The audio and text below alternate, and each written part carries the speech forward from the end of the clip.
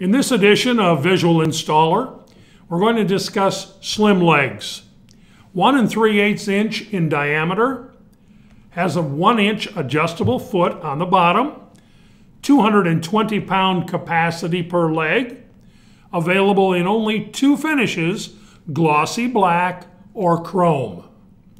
Table height only, 27 and 3 quarter inches, and the bracket is welded to the top of the leg. These legs are not cuttable because of the bracket is welded. That's the slim leg 380 series available from Peter Meier.